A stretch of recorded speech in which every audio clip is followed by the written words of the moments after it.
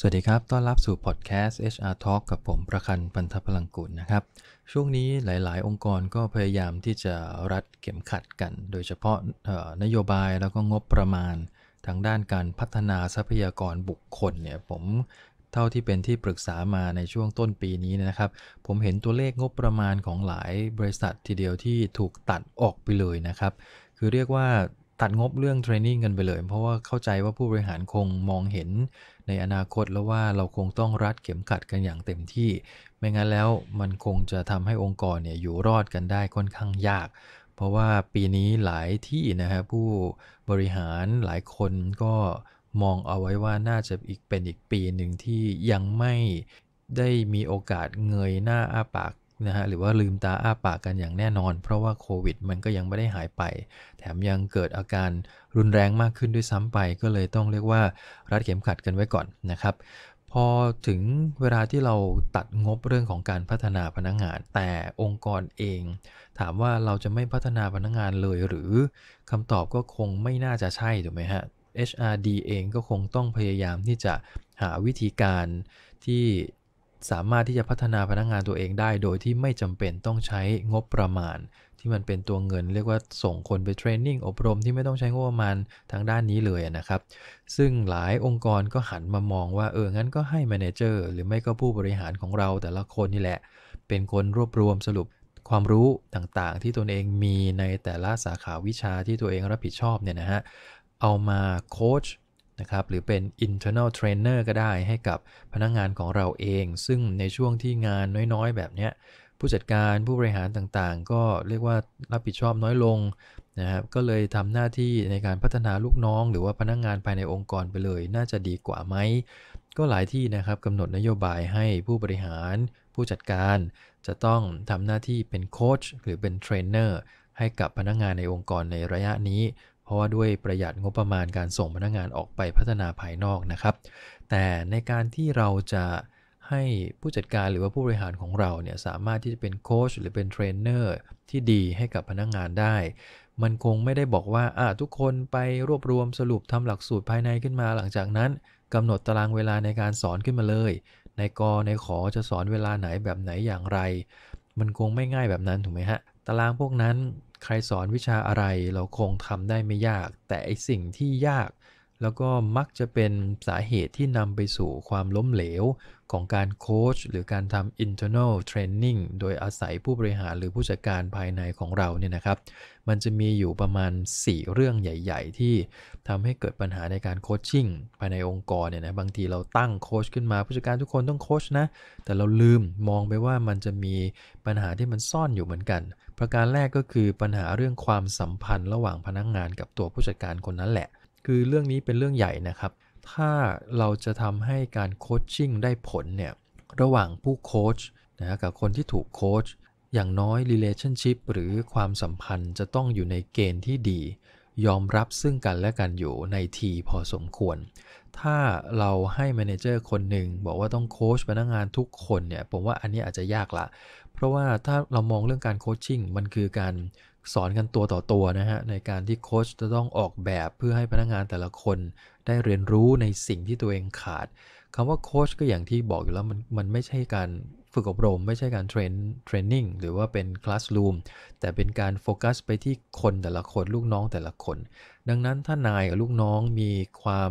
ระหองระแหงกันเนี่ยนะฮะการโค้ชเป็นไปได้ยากมากทีเดียว นั่งมองหน้ากันบางทียังแทบไม่อยากจะมองกันเลยนะครับ ให้มานั่งโค้ชกันเนี่ยบางทีลูกน้องก็ไม่อยากฟัง นายอาจจะไม่ได้คิดอะไรแต่ถ้าลูกน้องไม่แฮปปี้กับนายคนนี้นะนายพูดอะไรไปก็เข้าหูซ้ายทะลุหูขวาแน่นอน ดังนั้นโคชชิ่งก็จะไม่ได้ผลในประเด็นนี้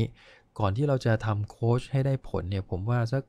8-90%เนี่ยความสัมพันธ์ระหว่างนายกับลูกน้องจะต้องอยู่ในเกณฑ์ดีนะฮะ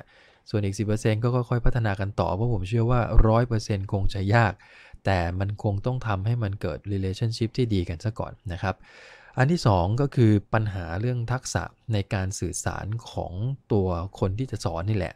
ว่าเขามีการสื่อสารทักษะที่ดีไหมนะครับ คือบางคนเป็นผู้จัดการเป็นผู้นำที่ดีนะฮะตัดสินใจโชโชโชรวดเร็วมาก แต่เมื่อไหร่มาให้สื่อความหน้าชั้น หรือให้สื่อหรือให้สอนเนี่ยกลับกลายเป็นว่าพูดไม่ได้มีปัญหาในการสื่อเรื่องง่าย ๆ บางทีทำให้มันกลายเป็นเรื่องยากไปซะก็มีเยอะ สุดท้ายคนที่เรียนด้วย หรือคนที่ถูกโค้ชก็นั่งงง เพราะอะไรเพราะคุยกันไม่ค่อยรู้เรื่อง บางคนก็เอาแต่สับแสงเฉพาะทางมาโชว์กันว่าฉันมีกลิ่นนะ ฉันเก่งนะ เอาคำพูดที่มันหรูๆหราๆเนี่ยนะฮะออกมาคุยมาโค้ชกับพนักงาน ตรงนี้ก็เลยทำให้การสื่อสารไม่ได้ผล เพราะว่า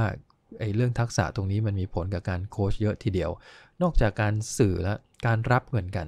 โคชชิ่งนะครับหรือการพัฒนาพนักงงานโดยการโค้ช มันจะต่างกับการเทรนนิ่งเพราะว่าเทรนนิ่งเนี่ยอันนี้อันนี้อาจจะไม่ยากนะครับ คือในมุมของบางคนเนี่ยไปเรียนเรื่องของการสื่อการพูดในที่สาธารณะ การทำเรื่องยากๆให้เป็นเรื่องง่ายได้ เราก็สามารถที่จะพูดหน้าชั้นได้ แต่ถ้าเราโฟกัสไปในเรื่องประเด็นของการโคชชิ่งเนี่ยคนที่เป็นคนโคชจะต้องฟังอย่างเข้าใจ คือต้องเรียกว่ามีทักษะในการฟังอะครับ ฟังแบบเปิดเลยนะฮะ คือรับ สารอะไรมาจะต้องไม่ตีความเข้าข้างตัวเอง จะต้องพยายามเข้าใจให้ได้ว่า ผู้ที่เรากำลังโค้ชเขาอยู่เนี่ยเขาคิดอะไรกันแน่ เขาสื่อแบบนี้เขาต้องเขาต้องการจะบอกอะไรเราหรือเปล่า มันมีนัยยะอะไรซ่อนอยู่หรือเปล่า